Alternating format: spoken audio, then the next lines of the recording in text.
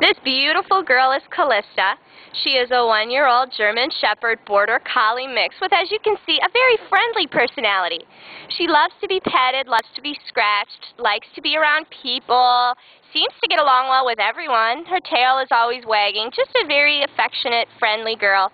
She's also pretty playful. She loves to run around and meet everyone, see everything. She'd be great in an active home, someone that could teach her to play fetch or take her for long walks.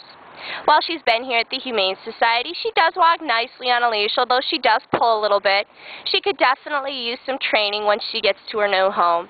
She's just a gorgeous girl who's going to make someone a wonderful companion.